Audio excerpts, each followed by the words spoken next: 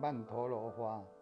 这个白色的曼陀罗花，像北部的台湾阳明山就有白色的曼陀罗花啊，都是野生的。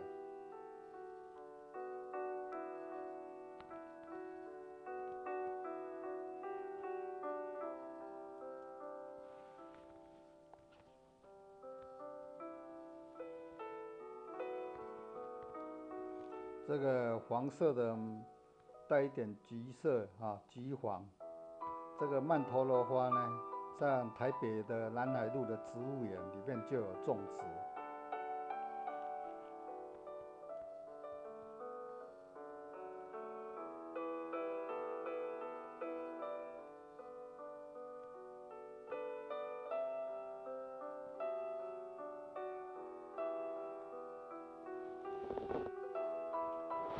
这个粉红色的这个曼陀罗花，像阿里山上就有。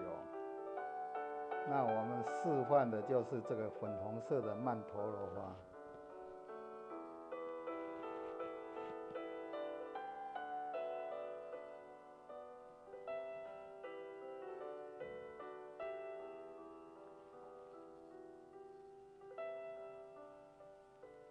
这个是示范彩色完成的曼陀罗花。这些是在课堂上教学的示范画稿。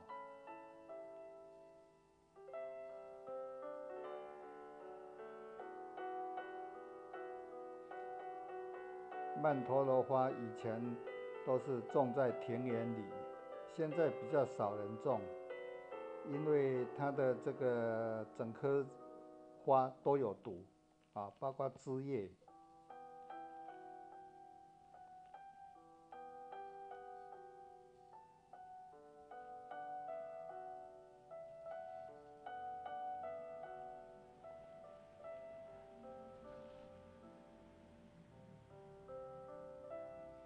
这是白描还未彩色完成的时候，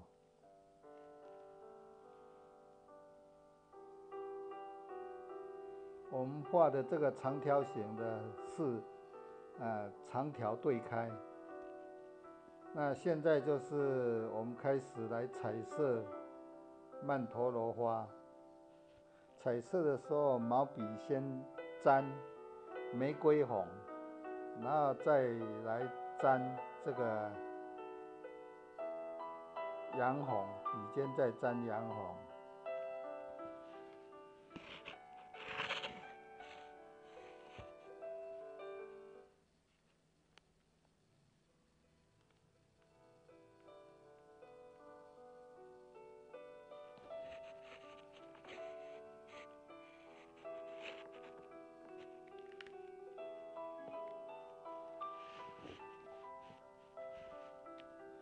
在染的时候，笔尖沾的比较深，我们先染比较深的地方，然后慢慢的笔的颜色就变淡了，我们就再染浅的地方。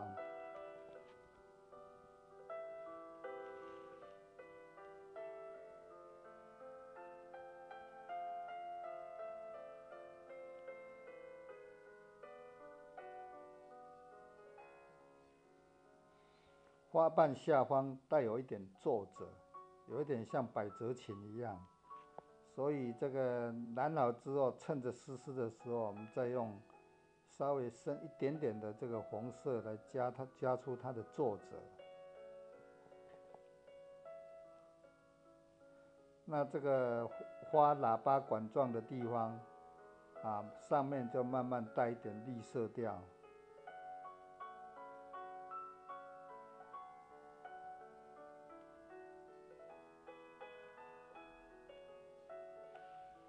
现在在加它的作者的地方。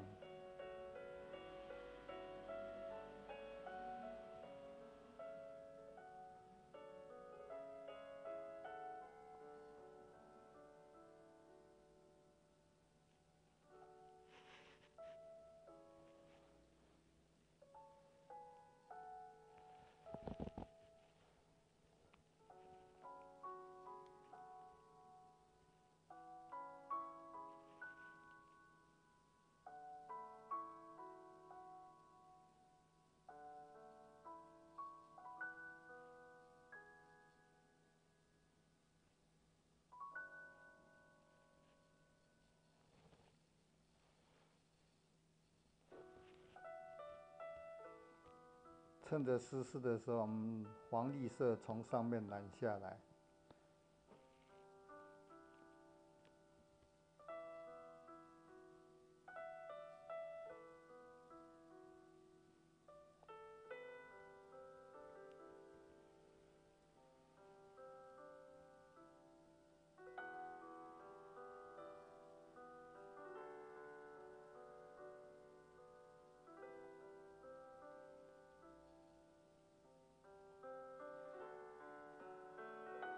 每一朵花就很像以前那个放唱片的那个有一个大喇叭的这个凤上桃，就是那个喇叭的那个样子。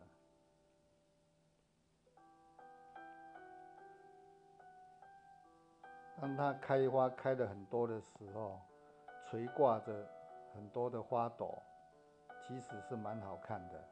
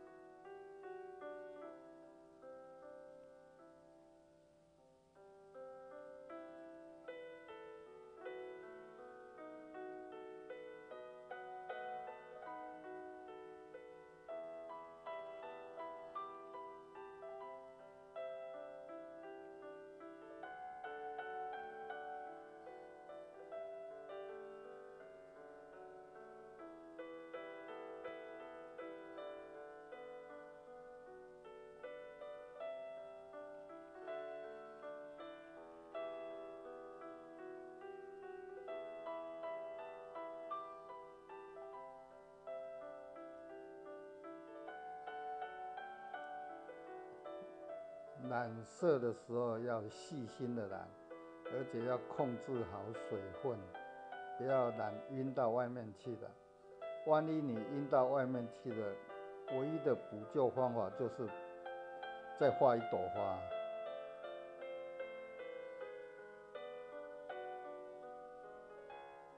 但是要尽量训练自己控制水分的能力。生仙子就是一定要注意。这个掌控水分，还有这个速度跟时间。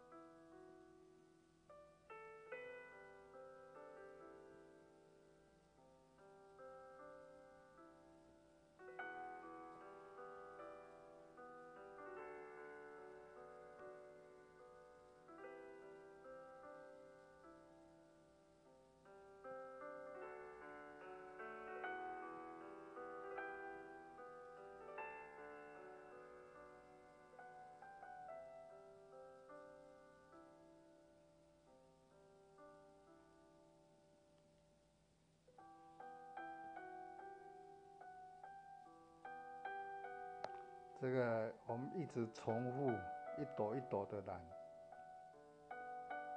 方法都是一样的。